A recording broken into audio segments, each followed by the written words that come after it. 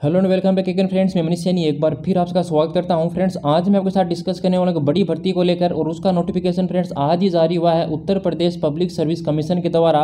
उससे पहले मैं आपको एक बड़ी अपडेट दूँ, फ्रेंड्स। बड़ी अपडेट यही है कि ये जो वैकेंसी निकाली गई है, वो पूरी तरीके से केवल और केवल मेल कैंडिडेट के लिए निकाली गई है। फीमेल कैंडिडेट यहाँ पर अप्लाई नहीं कर सकती।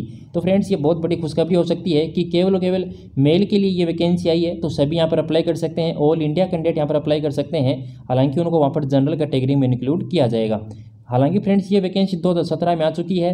इसके लिए जिन्होंने भी 2017 में आवेदन कर दिया था, उनको दोबारा यहाँ पर आवेदन करने की आवश्यकता नहीं है। फ़ीस देख लेते हैं फ्रेंड्स आपको ऑनलाइन फॉर्म सबमिट करने के लिए डिस्क्रिप्शन में लिंक मिल जाएगा। आप वहाँ से यहाँ पर अप्लाई कर सकते हैं। फ़ीस यहाँ पर जनरल ओबीसी जो या फिर अदर राज्य के हैं, उनके लिए दो सौ रुपये रखी गई है। हालाँकि जो इस राज्य के ही हैं, उनके लिए यहाँ पर एक सौ पच्चीस रुपये फ़ीस रखी गई है। शेड्यूल कास्ट है, उनके लिए यहाँ पर चालीस रुपये फ़ीस है। टोटल मिला के पैंसठ रुपये है, जो हैंडीकेप्ड हैं, उनके लिए कोई फ़ीस नहीं है, लेकिन जो प्रोसेसिंग जो फ़ीस है, वो पच्चीस रुपये इनको देनी होगी।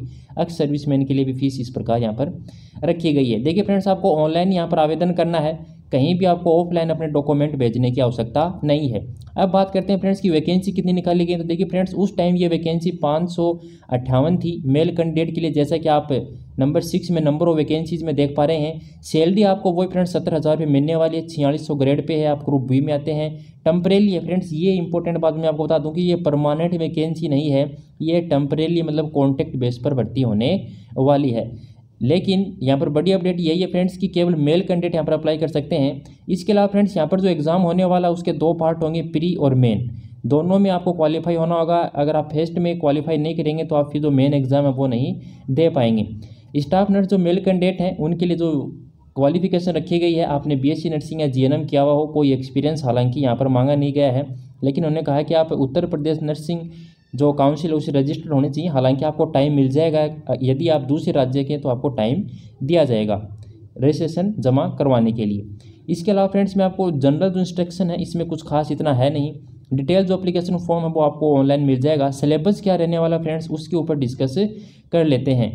तो सिलेबस यहाँ पर मेन चीज़ है, क्योंकि जैसा कि हम लोग को पहले ही बता दिया फ्रेंड्स दो पारियों में, दो जो पार्ट हैं, इस एग्ज़ाम के, वो होने वाले हैं। तो पहला देख लीजिए फ्रेंड्स आप, यहाँ पर किस प्रकार होने वाला जो प्रिलिमिनरी जो एग्ज़ाम होगा, उसमें जनरल नॉलेज के तीस क्वेश्चन आएँगे और जनरल जो हिंदी है, उसके बीस क्वेश्चन और जो मेन सब्जेक्ट जो अपने नर्सिंग के हैं, उसके एक सौ बीस क्वेश्चन आएँगे। तो जैसा कि आप देख पा रहे हैं टोटल जो क्वेश्चन है, एक सौ सत्तर यहाँ पर होने वाले हैं। इसके अलावा आपको दो घंटे का टाइम मिलने वाला है। टोटल जो नंबर वो पिचासी का ये पेपर होने वाला है। हिस्ट्री है, आपसे जो उत्तर प्रदेश की है, वो वहाँ से पूछी जाएगी। वर्ल्ड जियोग्राफी आपसे पूछी जाएगी। भारत का जो राजनीति है, उससे आपके क्वेश्चन आएँगे, जो करंट अफेयर है, उससे आपके क्वेश्चन आएँगे। इसके अलावा जो थोड़ी बहुत रीजनिंग है इंग्लिश है साइंस है, ये सब क्वेश्चन यहाँ पर आने वाले हैं। हिंदी से अगर बात करें तो अनेक शब्दों का जो भी वर्तनी संबंधित जो शुद्ध शब्द करने, वो हैं प्रयाती शब्द हैं, यही आने वाले। नर्सिंग से anatomy physiology foundation of nursing ये सभी सब्जेक्ट नर्सिंग के सारे सब्जेक्ट यहाँ पर आने वाले हैं। यहाँ से टोटल एक सौ बीस क्वेश्चन नर्सिंग से आएँगे फ्रेंड्स तो आप अच्छी खासी तैयारी कर सकते हैं, लेकिन ध्यान रहे कि जब तक आप फ़र्स्ट पार्ट पास नहीं करेंगे, आप सेकंड जो पार्ट है उसमें अलाउ नहीं होने वाले हैं। तो धन्यवाद साथियों, एक बड़ा अपडेट आप सभी के लिए। आप वीडियो को अधिक से अधिक शेयर और चैनल को सब्सक्राइब करना बोले साथियों।